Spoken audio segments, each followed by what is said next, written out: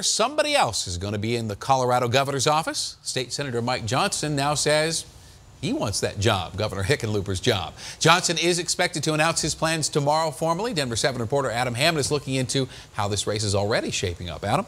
Well, tomorrow when he makes it official, Mike Johnston will be the second Democrat in the governor's race. Let's take a look at his resume. He was elected to the state senate back in 2009, representing Northeast Denver, as you see on your screen right here.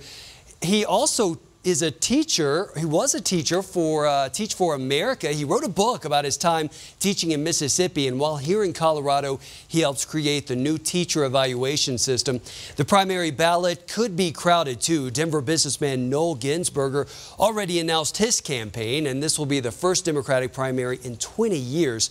Other Democratic candidates could include former Interior Secretary Ken Salazar, who you see right here, also Representative Ed Perlmutter, and while no Republican candidates have stepped up just yet, that's also expected to be a busy race. Potential candidates include District Attorney George Brauchler, also State Treasurer Walker Stapleton, and it's going to be interesting to see how this race takes shape. Johnston will make his formal announcement again. That's coming up tomorrow.